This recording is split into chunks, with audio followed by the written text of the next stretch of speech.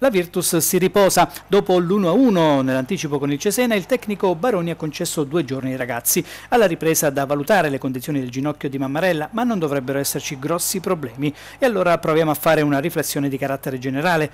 Nelle ultime stagioni la Virtus, oltre a costruire bene le sue squadre, dal mercato invernale ha sempre avuto tanto, riuscendo a fare il classico salto di qualità.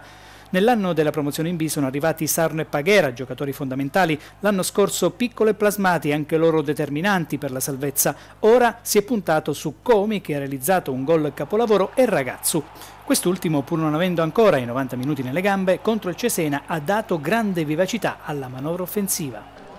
Eh, penso di sì, comunque sia ho cercato di fare il possibile, di muovermi, tra la difesa, trovare gli spazi giusto per portare l'uno sull'uno contro uno.